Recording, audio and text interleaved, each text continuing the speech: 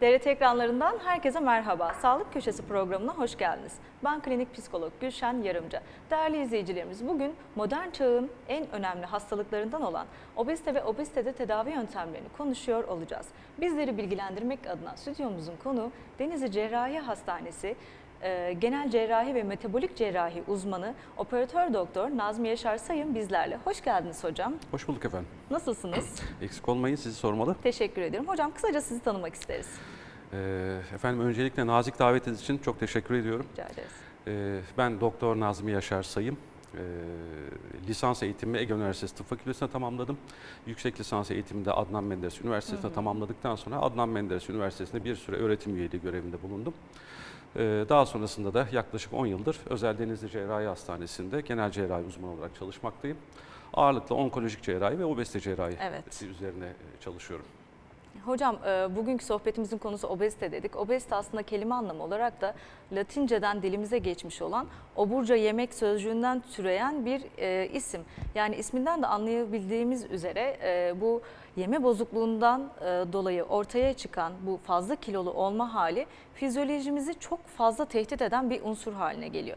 Genelde toplumda sadece estetik kaygı olarak görülüyor olsa da e, oysa ki artık aslında bu konuda yavaş yavaş da bilinçlenme arttı ama e, ciddi bir metabolik hastalık. Bugün zaten siz detaylıca bu konuda bizleri bilgilendireceksiniz.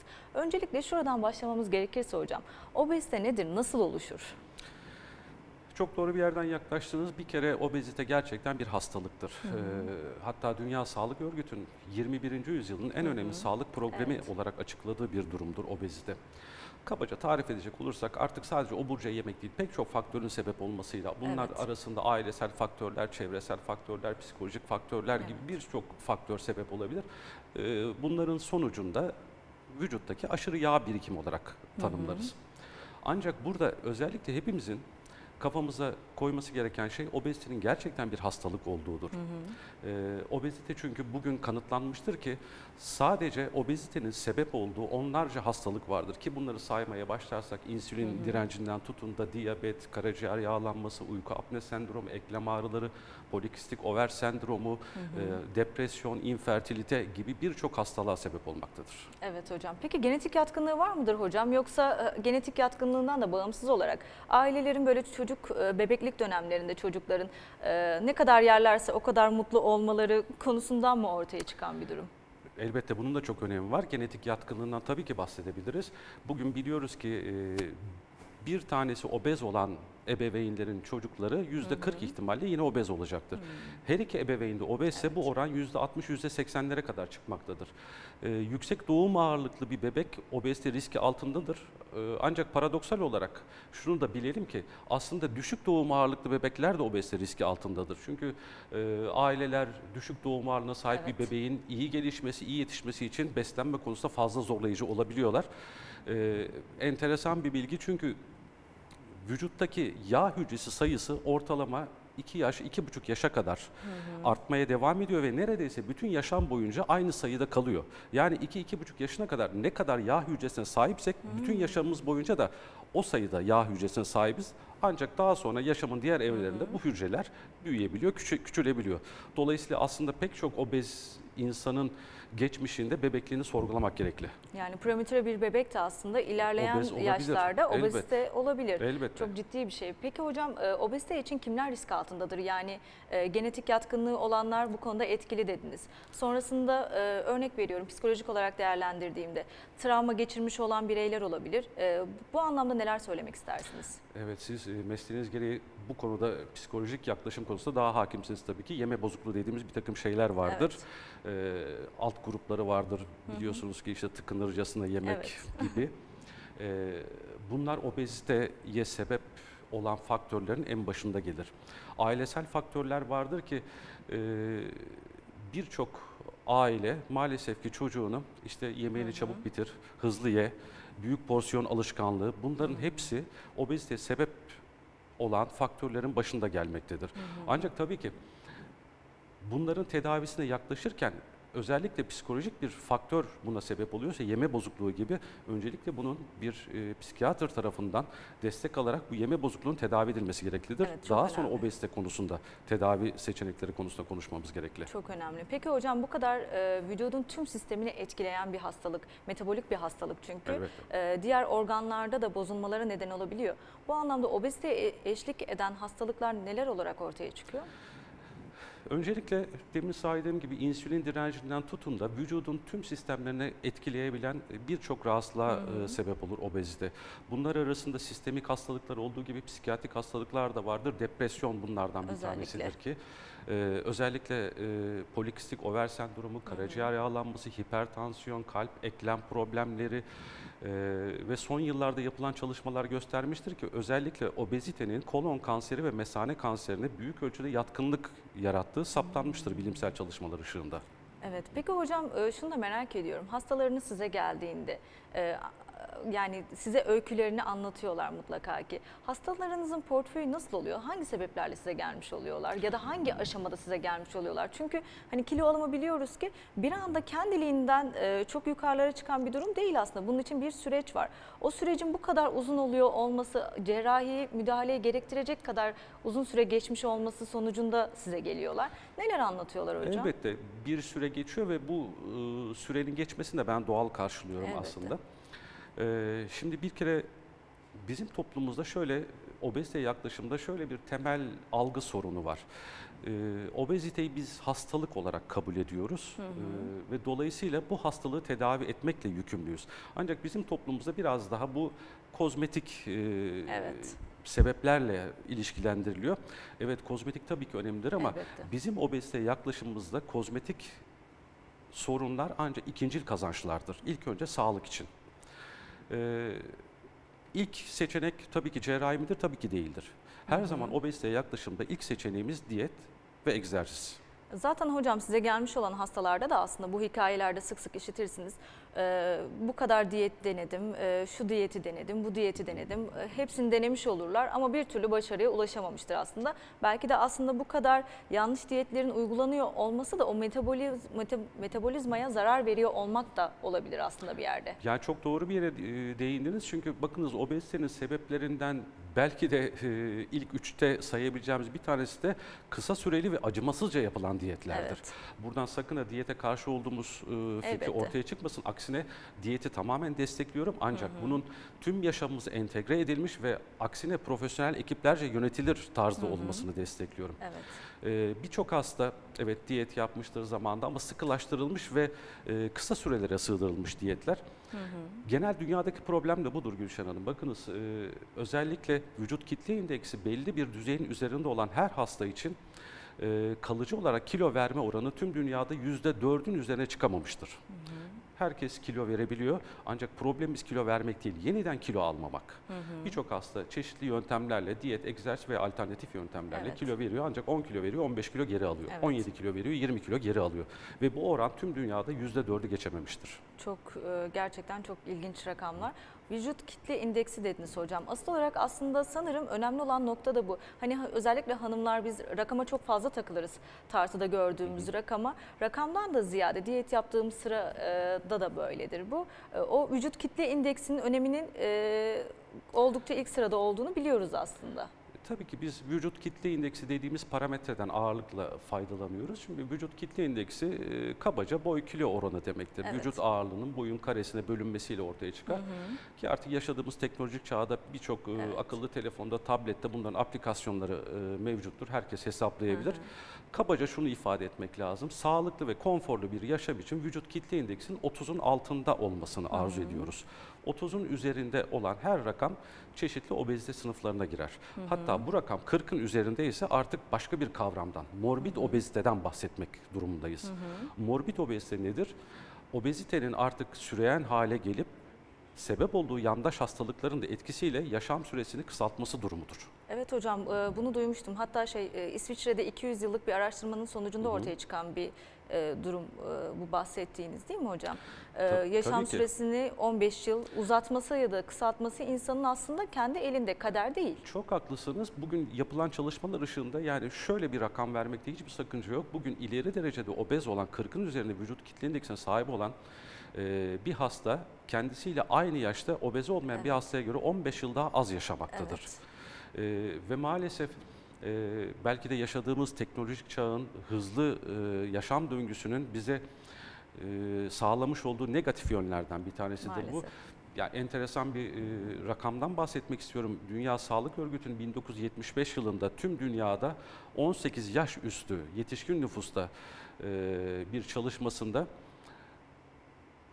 erkeklerde %3.2, kadınlarda %6.4 obezite sıklığı varken bundan tam 40 yıl sonra aynı çalışma tekrar edildiğinde 2014 yılında bu rakamlar erkeklerde %10.8, kadınlarda %14.8 olarak çıkmış. Evet, Yani maalesef. 40 yıl içerisinde erkeklerde 3 kat, kadınlarda 2,5 kat obezite sıklığı artmış.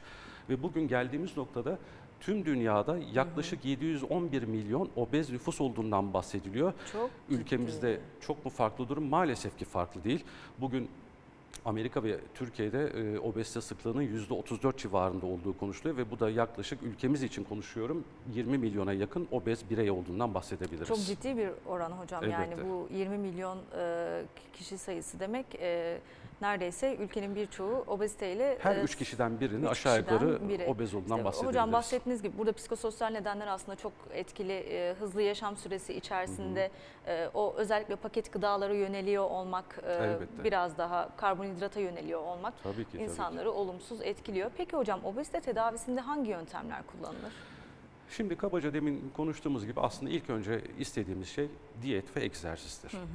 Ee, ancak bugün obezite tedavisinde artık diyet ve egzersizle kilo vermeyi beceremeyen, başaramayan veya verip tekrar daha fazlasını alan, vücut kitle indeksi de kritik noktalara gelmiş hastalar için tedavi seçeneklerini iki ana başlık altında topluyoruz. Birincisi endoskopik yöntemler, diğeri de cerrahi yöntemler.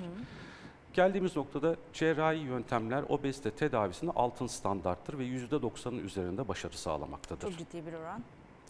Ee, ancak her hastaya cerrahi mi uyguluyoruz? Elbette ki hayır. Bunun için bir takım kriterlerimiz var. Bir Evet. kere vücut kitle indeksi yüzde 40'ın üzerinde olan her hasta cerrahi geçirmelidir. Vücut kitle indeksi 35 ile 40 arasında olup da obezitenin sebep olduğu yandaş hastalıklardan demin bahsetmiş olduğumuz Evet. bir veya birkaç tanesi sahip olan hastalar da cerrahi geçirmelidir. Ee, son yapılan çalışmalar göstermiştir ki vücut kitle indeksi 30'un üzerinde olup da kontrolsüz tip 2 diyabeti olan hastalarda cerrahi geçirmek durumundadır. Yani cerrahi aslında kaçınılmaz bir son haline gelmiş oluyor ve bu anlamda da hocam e, şunu da biliyoruz ki ve önemli bir konu e, obezite cerrahisi düşünüldüğünde e, mix bir tabloyla çalışılması gerekiyor aslında. Çünkü kişinin e, diğer eşlik eden hastalıkları da ortaya çıkmış oluyor. E, Bu konuda e, tabii siz daha iyi bilgilendireceksinizdir. Psikiyatri özellikle çok önemli. Evet. E, Belki bir kalp cerrahisi görmek isteyebilir, dahiliyeyi ilgilendirebilir. Yani e, siz kolektif halde bir e, çalışma gerçekleştiriyorsunuz. Çok doğru. Burada birlikte sohbet ediyoruz belki ama gerçekten çok önemli ve değerli bir ekiple çalışıyoruz. Multidisipliner bir çalışmadır. Evet. Ee, biz her hastamızı obezite tedavisi konusunda yaklaşırken bir bariyatrik cerrahın dışında muhakkak bir dahiliye veya endokrinoloji uzmanı görür, bir kardiyoloji uzmanı görür, bir göğüs Evet. hastalıkları uzmanı görür ve bir psikiyatrist görür. Onlar da e, tıbbi ve psikiyatrik açıdan Evet. değerlendirmesi yapar. Böyle bir sürece e, çünkü ben özellikle hastalarıma da bu şekilde tanımlıyorum. Bakınız bu bir yaşam tarzı değişikliğidir ve Evet, bu bu sözleşmeyi önemli. birlikte yapıyoruz. Buna hazır olup olmadığını değerlendirmek için birçok arkadaş görüyor. Bu çok önemli hocam. Hocam en çok kullanılan yöntem peki hangisidir? Bu kadar yöntemin arasında birçok yöntem var. Cerrahi dediniz. Cerrahide kullanılan yöntem e, nedir? Şimdi e, cerrahi altın standart olduğundan bahsetmiştik. Özellikle son 10-11 yıldır e, tüm dünyada ve biz de e, kendi kurumumuzda ve kliniğimizde sleeve gastrektomi dediğimiz halk arasında tüp mide diyebilen ameliyatı uygulamaktayız. Bunun birkaç tane sebebi var. Birincisi kısa süren bir ameliyattır. Ortalama 45 dakika, 1 saat kadar Çok sürer. güzel. E, ikincisi riskleri son derece düşüktür. Bugün kapalı sistemle yapılan bir safra kesesi ameliyatından daha fazla riske sahip değildir. Ee, üçüncü sebebi de orta ve uzun vadede hiçbir yan etkisi yoktur. Aa, harika öyleyse hocam. Peki e, ameliyat kriterleri nedir hocam? Özellikle yaş bu konuda e, sık sık karşınıza çıkıyor olabilir. Genç yaşlarda o estetik kaygıyla birlikte başvuruların daha yoğun olduğunu düşünüyorum. İlerleyen Şimdi yaşlara literatür der ki e, 18-65 yaş arası. Ancak e, obezite bir hastalık olarak değerlendirdiğimize göre e, bu hastalığın tedavisi konusunda da bazen yaş gruplarını esnetmek durumundayız. Kişisel ve beyinsel gelişimini tamamlamış, entelektüel düzeyi, sosyokültürel düzeyi böyle bir ameliyata ve böyle bir tedavi sürecine e, çevresiyle birlikte hazır olan bir hasta için bu yaş grupları öncesinde ve sonrasında esnetilebilir. Yani 16-70 yaş diyebiliriz kabaca. Ee, vücut kitle indeksine göre demin bahsetmiş olduğum kriterlere giriyorsa önemli olan burada doğru hastayı doğru yöntemle tedavi etmektir. Evet.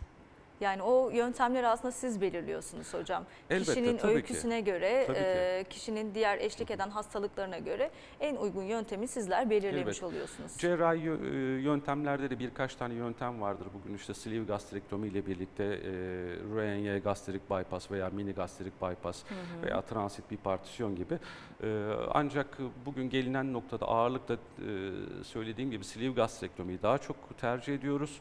E, Burada çünkü hastanın sadece kilo vermesine değil aynı zamanda da metabolik, metabolik durumunun da düzelmesi için e, son derece önemli ve Tüp değerli mide bir ameliyat. ameliyatı bu Evet, bahsettiğimiz. evet. Peki hocam burada e, midenin tamamı mı alınıyor, bir kısmı mı alınıyor? E, belli bir oran var mı? Her hastada aynı oranda mı alınıyor? E, yani o riskleri e, minimalize edebilmek adına yoksa kişiye göre mi belirleniyor? Kabaca yapılan sleeve gastrektomide midenin yan %80'lik kısmının alınmasıdır. Yani bir hacim küçültme ameliyatıdır.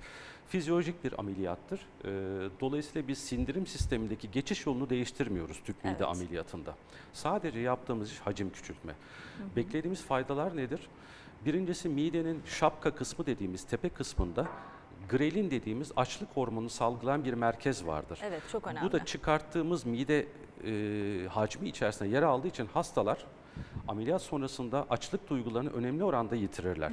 Yani acıktım sinyali geç gelir. Bu çok önemli hocam. Yani öyleyse aslında kalıcı bir etki olacak olduğunu da söyleyebiliriz. Tabii ki. Çünkü e, beyne gönderilen frekansların yani açlık tokluk merkezinin değiştirilmiş olması aslında. Aynen. Acıktım sinyali geç gelmektedir. Ameliyat öncesinde 1500 mililitre olan mide hacmi ameliyat sonrası 150 mililitreye düştüğü için doydum sinyali bu sefer çabuk gelmektedir. Yani hastalar artık 3-4 kaşık yemekle doyar hale gelmektedirler. Evet, evet. Ve özellikle benim için en önemli faydalarından bir tanesi de bağırsaklardan sal- salgılanan GLP, peptit Y gibi hormonlar artış gösterdiği için obezitenin sebep olduğu yandaş hastalıkların tedavisinde de son derece etkin bir yöntemdir. Çok güzel. Özellikle şeker, kolesterol Evet, gibi evet. hastalıklar. Öyleyse Çok kendiliğinden hastamız vardır ilaç şeker ilaçlarını bırakan bu şekilde. Kendiliğinden kayboluyor öyleyse Tabii ki, hocam. tabii ki. Yani çok güzel, gerçekten çok etkili.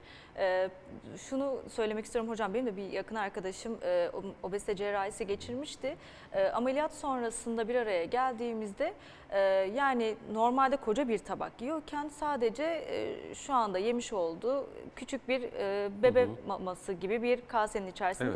Gerçekten doyma hissiyle Porsiyonlar çok ufaldı değil mi? Evet, porsiyonlar çok küçüldü ve o doyma hissinin oluşuyor olması bence çok güzel. Yani orada bir şartlanma yok aslında. Gerçek doygunluk hissiyle o masadan kalkıyor olmak çok önemli. Tabii ki işte bir yaşam tarzı değişikliğe gidiyoruz ki ben hastalarıma da özellikle bunu söylüyorum. Ee, aslında bu sadece ameliyat olan hastalar için değil, toplumda her bireyin uyması gereken has- e, Evet. kurallardır bunlar, temel kurallardır. Dört tane temel kuralımız var. Birincisi sık sık, az az, iyice çiğneyerek, aceleye getirmeden, e, katı sıvı ayrımı Evet. yaparak beslenmek. Evet, bu da önemli. İkincisi bol su tüketmek. En kötü günde 2 litre. Üçüncüsü paketli ürünlerden, karbonhidrattan, gazlı içeceklerden, alkolden mümkün olduğu kadar uzak durmak. Ve dördüncüsü de yaşamımızda her gün asgari 30 dakika egzersize yer vermek. Yürüyüş dahi olsa.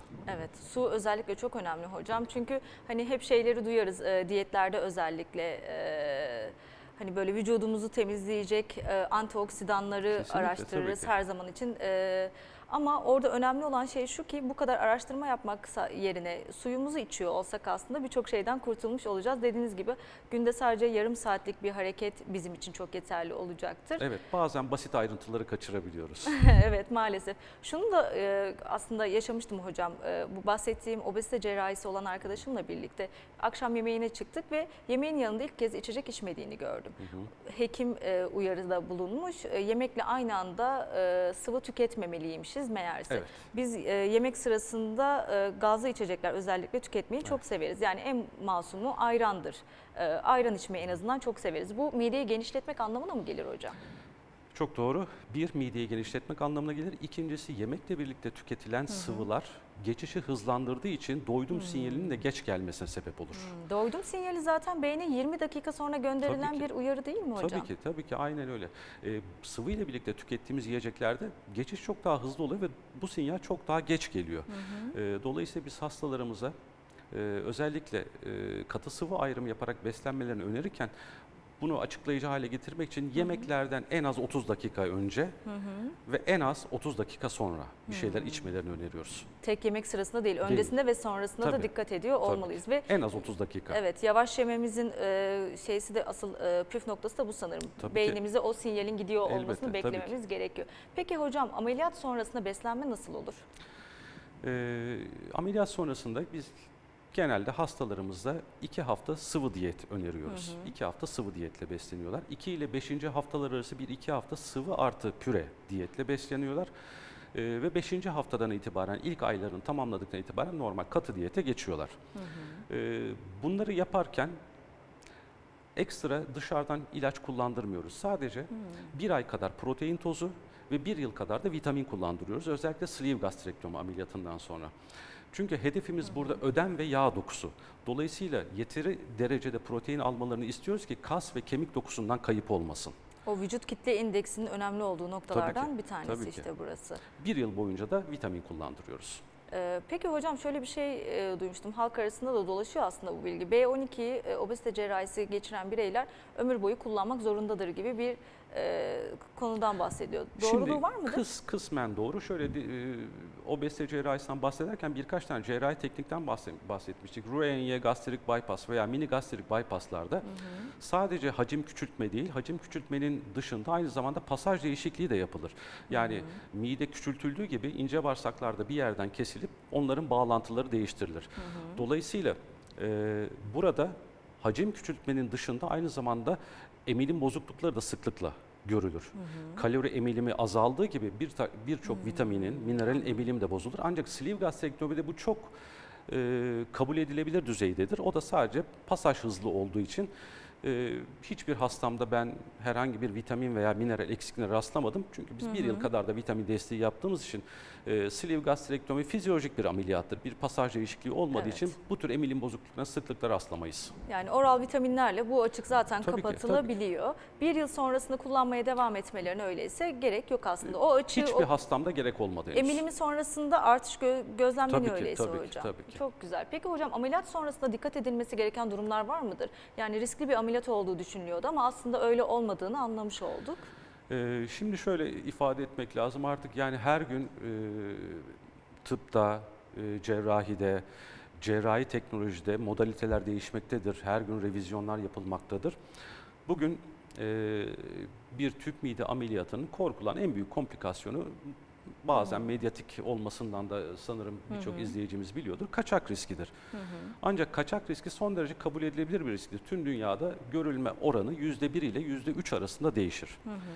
Ee, biz bu ameliyatı gerçekleştirirken mideyi özel stapler dediğimiz aletlerle kesiyoruz. Aynı anda kesen ve aynı anda 3 sıra diken aletlerle. Ee, biz kendi kliniğimizde güvenliği arttırmak amacıyla bu aletlerle kestikten sonra dördüncü sıra kendi elimizle kesilmiş olan hatta bir kez daha dikiyoruz. Dolayısıyla ben henüz hiç kaçak görmedim. Evet. Ama kitabın yazdığı da %1 ile %3 arasında kaçak riski vardır der. Tabii, Bu da olabilir. çok minimal bir rakamdır. Peki kaçak olduğu takdirde nasıl müdahale edilecek hocam? Şimdi zaten aslında mühim olan kaçak olması değildir, kaçağı fark edebilmektir. evet nasıl fark o zaman da edilecek elimiz de? kuvvetlidir. Ee, eğer bir kaçağın farkına varmışsak zamanında e, endoskopik yöntemlerle uygulanan stent uygulamaları veya beslenmeyi kesip parenteral damardan beslenme yöntemleriyle bu kaçağın da üstesinden Yani bunu- gelinebilir. Kişi kendisi anlayabilir mi bu kaçağı? Ee, kişi kendisi subjektif bulgularla anlayabilir. Yani sebepsiz olmaması Evet. gereken bir karın ağrısı, ateş yükselmesi, iltihabi hücrelerde artış gibi şeylerle e, biz cerrahlar fark ederiz daha çok. Daha çok siz fark ediyorsunuz. Peki hocam e, hastanın günlük rutinlerine dönmesi ne kadar süre alır? Bu konu sık sık karşınıza geliyor olabilir aslında. Şimdi Yani Gülşen Hanım, ameliyat süresi 45 dakika dediniz. Evet. Çok da kısa. Çok konforlu bir ameliyat bir kere laparoskopik sistemle yani kapalı sistemle yapılan bir ameliyattır. Biz hiçbir hastamızı yoğun bakımda yatırmıyoruz. Sadece tam uyanana dek, tam derlenene dek 1-2 saat özel e, derlenme odalarında tutuyoruz ve hemen ondan sonra odasını alıyoruz. E, odasını aldıktan sonra hemen birkaç saat içerisinde ayağa kalkıp yürümeye başlıyor ve 24 saat sonra da ağızdan beslenmesini açıyoruz. 3 gün hastanede tutuyoruz ameliyat olduğu günle birlikte. Dördüncü gün taburcu ediyoruz. Ve eğer çok ağır bir iş yapmıyorsa, ağır kaldırmayı gerektiren veya gerçekten güç gerektiren bir iş yapmıyorsa da ortalama bir hafta içerisinde işine dönebiliyor. Ha çalışan hastalarımız için istirahat raporu veriyoruz tabii ki ancak bunu çalışamaz anlamında değil. Özellikle ilk bir ay diyet konusunda bizim için çok önemli bir süre olduğu için diyet programına rahatlıkla uyum sağlayabilsin diye bu istirahat raporunu veriyoruz. Yoksa e, hastamız bir hafta içerisinde herhangi bir AVM'ye gidip alışverişini yapabilir, kendi işine gidip işini görebilir, her türlü aktivitesini yapabilir. Ha, çok güzel öyleyse yani çok kısa süre içerisinde e, günlük yaşantısına Tabii ki. dönebiliyor. Peki hocam sporla ilgili olan kısımda ne- nasıl yorumlarsınız? Özellikle hani e, yani şu geliyor şimdi aklıma obezite cerrahisi geçirmiş olan bireylerde e, o vücuttaki e, sarkma durumunun oluşacak ol- oluyor olması kişilerde kaygı yaratacaktır ve önlem alma çabasına gidilecektir. Özellikle hanım hastalarımızın sorduğu Evet. sorulardır bunlar. Ee, şimdi efendim ameliyat sonrasında bir kere e, biz ilk başta yürüyüş öneriyoruz. Her gün 30 dakika. Ee, birinci ay tamamlandıktan sonra e, artık hastalarımızın özellikle direnç egzersizlerine, sıkılaştırıcı egzersizlere, kol bacak egzersizlerine başlamasını istiyoruz. Her karın cerrahisinde olduğu gibi sonuçta laparoskopik bile olsa birer santimlik 3-4 tane kesimiz oluyor. Dolayısıyla ağır Evet. sporlara 3. aydan itibaren izin veriyoruz. Ama artık 1. aydan itibaren yüzme dahil, e, sıkılaştırıcı egzersizler dahil hastamız her sporu yapabilir e, duruma geliyor. Ve e, estetik kaygılar, sarkma gibi e, kaygılar hastanın yaşına, cinsiyetine, ameliyat öncesindeki vücut kitle indeksine, içtiği su miktarına, yaptığı sporun cinsine, süresine, ağırlığına göre değişim göstermektedir. Ancak vücut kitle indeksi çok ileri düzeylerde olmayan, daha genç yaştaki hastalarımız bu direnç egzersizlerini de düzgün bir şekilde yaptığı zaman kozmetik kaygılarda, sarkma gibi kaygılarla da çok karşılaşmıyoruz açıkçası. Ha, evet harika öyleyse yani belki çok fazla olduğu takdirde de bir cerrahi müdahale gerektirebilir. Gerektirmeden de Orada da plastik cerrah arkadaşlarımız Evet. yardımcı oluyor. Ama e, sporla birlikte Evet. bu anlamda e, önlem alınabilir. Peki hocam gebelik e, düşünen e, hastalarınız için yani tüp mide ameliyatı geçirmişse eğer kişi ne kadar süre sonra gebelik düşünebilir? Bir yıl sonra gebelikle ilgili planlarını çiftler uygulamaya geçirebilirler. Çok Biz ama güzel. tüp mide ameliyatından sonra çünkü e, tüp mide ameliyatında kilo verme süreci bir yıl kadar devam ediyor zaten. Evet. E, dolayısıyla bu kilo verme sürecinin tamamlanmasını ve artık e, hormonal akstaki değişimlerin de stabil bir hale gelmesini e, beklemek istiyoruz. Dolayısıyla Evet. biz hastalarımıza bir yıl diyor- öneriyoruz. Çünkü biliyoruz ki obezite aslında doğurganlığı da e, etkileyen bir durum. Olumlu Özellikle yönde etkileyen. Evet. Yani e, kilolu olma hali olumsuz yönde Evet. etkiliyor. E, cerrahi müdahaleden sonra da bir Tabii yıl ki. gibi bir bekleme süresinden Evet. sonra gebelik düşünülebilir. Elbette. Peki hocam öncesinde olmuş olursa herhangi bir yani e, hazırlıksız olan bir gebelik oluştuğu takdirde bir sorun teşkil eder mi bu durum? Şimdi e, eğer öyle bir durum varsa tabii ki biz gebeliğin bitmesini bekliyoruz. Gebelik özel bir durumdur. Her ameliyat için geçerli olan bir durumdur. E, ve hatta e, hasta gebeliği tamamlanıp çocuk sahibi olduktan sonra da emzirme döneminin de bitmesini, tercihen 18 ay geçmesini ama asgari bir yıl. Yine orada da bir yıl kuralı var ama tercihen hatta Evet. emzirme süresini bitip 18 ay sonra öneriyoruz. Bir de şunu merak ediyorum hocam. Özellikle e, cerrahi e, müdahale geçirmiş kişiler, tüp mide ameliyatı olmuş bireyler bir süre sonrasında tekrar kilo almaya başladıklarında yeniden müdahale edilebilir mi cerrahi olarak? Evet, elimiz kuvvetli. Şimdi her cerrahi girişimde olduğu gibi e, obezite cerrahisinde de tekrar kilo alma riski vardır. Ancak sleeve gastrektomideki bu risk %7 ile %10 arasında değişmektedir.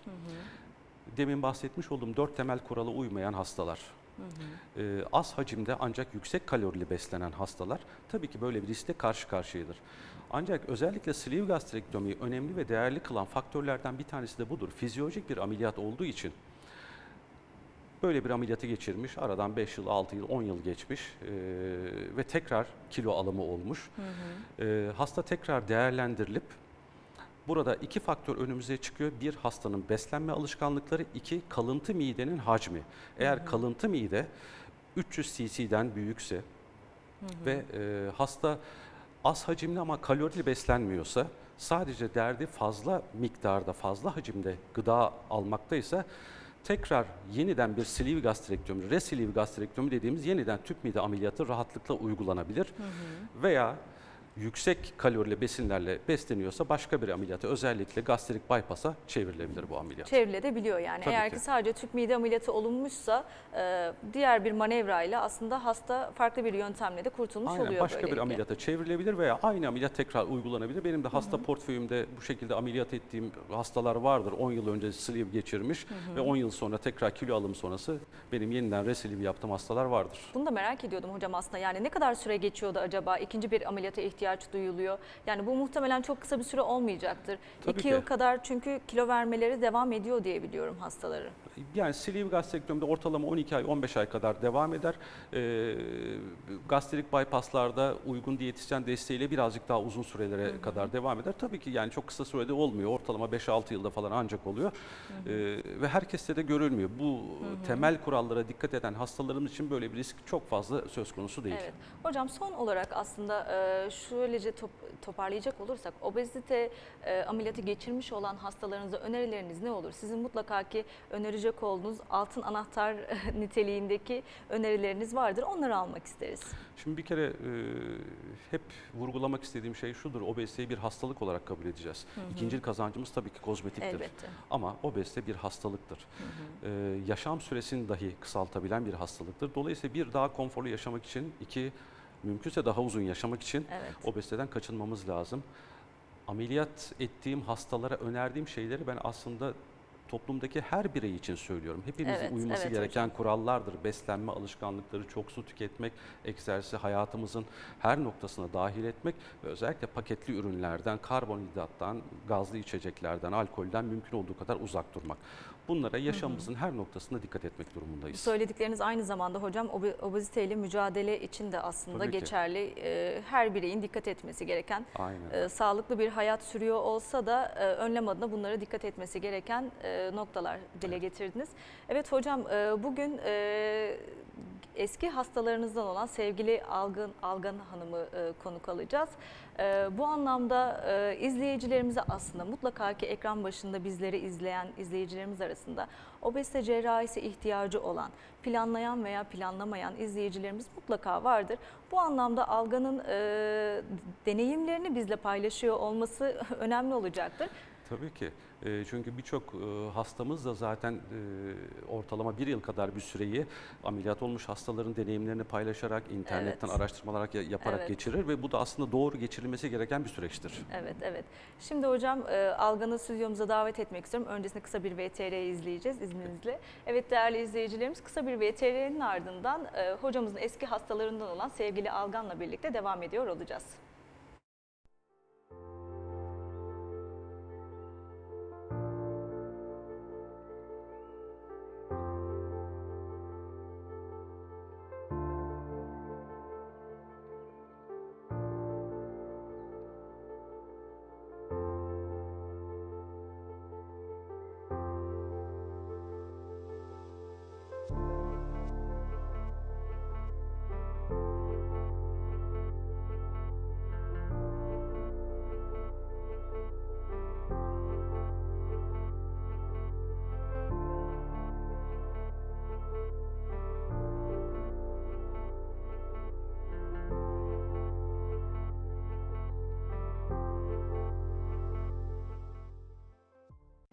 Evet değerli izleyicilerimiz, sevgili Alkan'ın ameliyattan önceki görüntülerini izledik e, hep birlikte. Gerçekten muhteşem bir değişim. Şimdi sizler de göreceksiniz. E, evet sevgili Alkan, Algan hoş geldin. Hoş bulduk. E, öncelikle seni tanımak isteriz.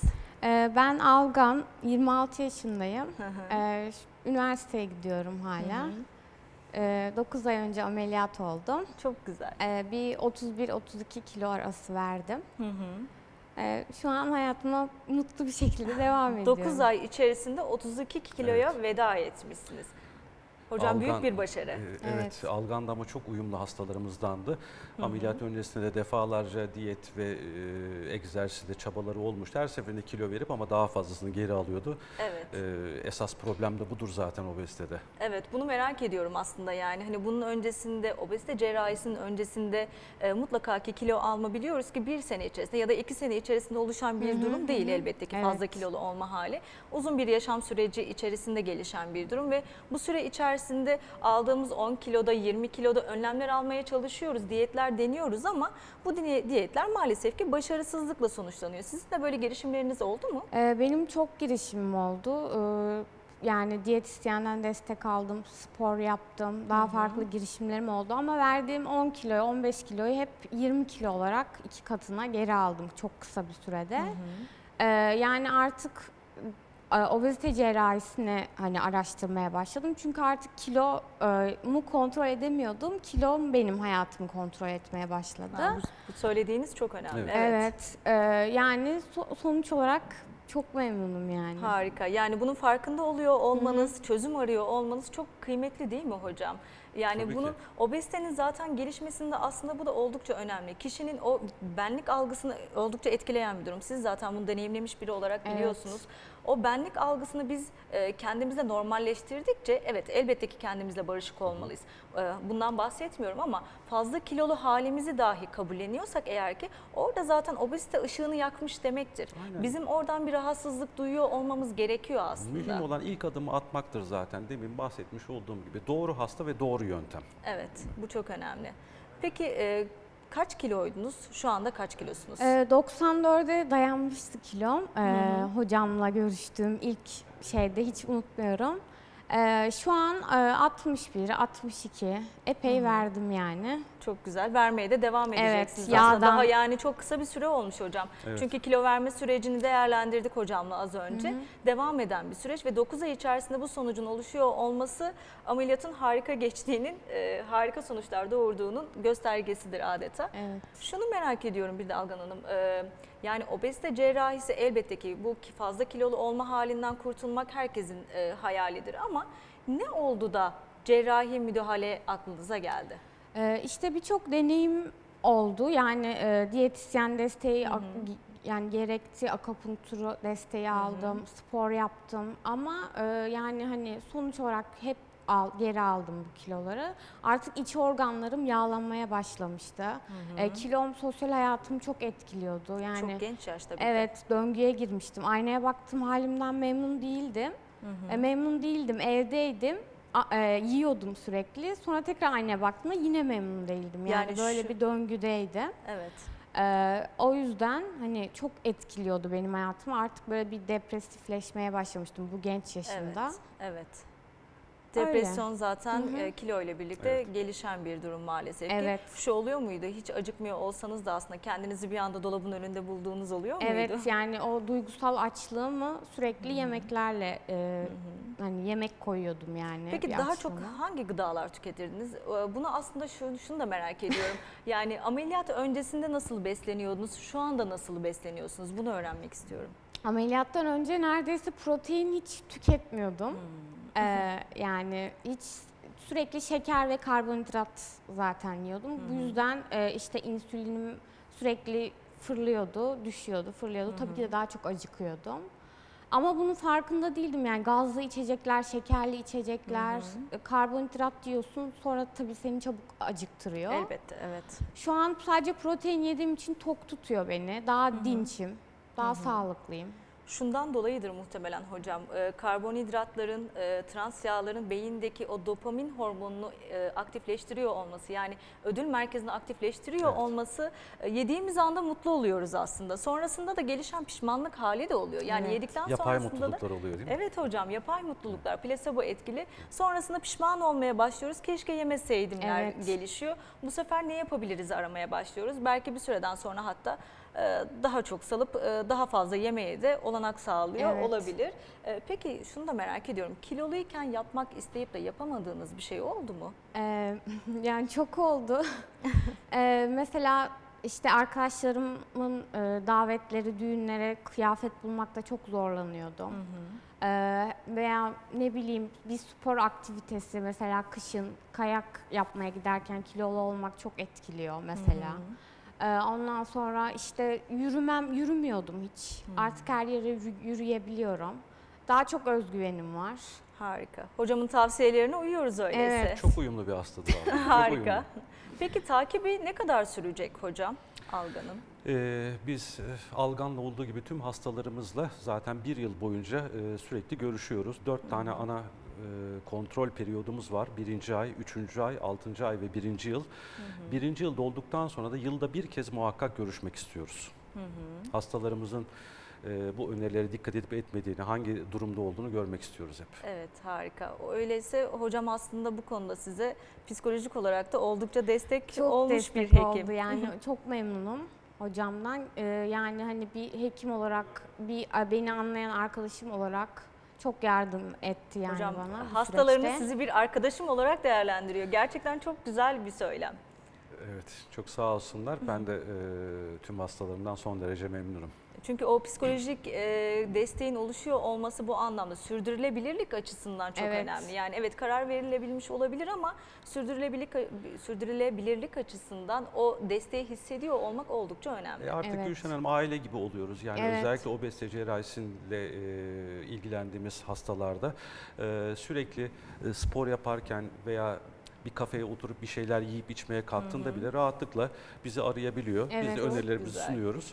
Artık aile gibi oluyoruz. Şanslısınız öyleyse yani Evet. bu kadar e, sizinle birlikte bu yolda yürüyen bir hekimle karşılaşmış olmak sizin Evet. için büyük bir şans olmalı. Son olarak neler söylemek istersiniz Algan Hanım? Buradan Ee, özellikle e, ekranları başında bu obezite cerrahisini düşünen bireyler için deneyimlerinizden yola çıkarak. Ee, Bana çok zaten nasıl zayıfladın sosyal medyadan çok soru geliyor. Ee, öncelikle diyorum ki e, evet ameliyat tabii ki de çok kısa sürede güzel sonuçlar veriyor ama tabii ki de beyinde bitiyor. Eğer kendinize güveniyorsanız e, böyle bir yola çıkın. Güzel bir hekim eşliğinde tabii ki. Elbette. Ee, ondan sonra zaten beyninizde bittiği sürece o obezite ameliyatta size çok büyük bir destek oluyor. Evet Yani harika. evet hani iyi bir hekimle beraber Çok güzel. yeni bir hayat başlıyor diyebilirim Evet, yani. ben de önceki fotoğraflarınızı gördüm. Gerçekten şu anda harika görünüyorsunuz. Teşekkür ediyoruz katılımınız için. Rica Burada bulunuyor olmanız bizler için ve izleyicilerimiz için e, oldukça kıymetliydi. Çok teşekkür ediyoruz. Hocam son olarak neler söylemek istersiniz? E, obezite bir kader değildir. Evet. Obezite bizim sağlığımızı doğrudan ilgilendiren ciddi bir sağlık problemidir. Ee, dolayısıyla hastaların evet kendileriyle barışık olmalarını ama obezite konusunda da adım atmalarını özellikle istiyorum. Ee, doğru merkez, doğru hekim seçimi e, ile birlikte ilk adım atmaları çok önemlidir.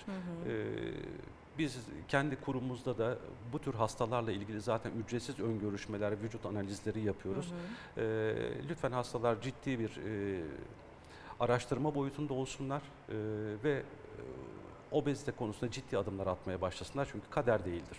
Evet, önlenebilir bir durum. Kader Elbette, tabii değildir. ki. Pekala hocam çok teşekkür ediyorum katılımınız teşekkür için. ederim, Çok eksik önemli, olmayın. çok kıymetli bilgiler paylaştınız bizimle. Eksik olmayın efendim. Sağ olun. Evet değerli izleyicilerimiz e, bugün obezite cerrahisini konuştuk. Yani yeni bir hayata açılan kapı aslında obezite cerrahisi. Hocam e, çok önemli ve güzel bilgiler paylaştı bu anlamda bizimle. Fizyolojik ve psikolojik olarak e, aslında en çok sağlığınızı etkileyen unsurlardan bir tanesi. Öncelikle fazla kilolarımızdan kurtulmalıyız iyileşme anlamında. Yaşam çok güzel ve çok keyifli bir yolculuk. Bu yolculukta e, size yük olan öncelikle kilolarınız, sonrasında size yük olacak ne varsa, sizi yavaşlatacak ne varsa bunlardan arınıyor, kurtuluyor olmalısınız ve şunu da unutmayın ki kurtulmak sizin elinizde, sizin gayretinizde gizlidir. Haftaya tekrar görüşmek dileğiyle sevgili izleyicilerimiz. Sevgiyle kalın, sağlıkla kalın.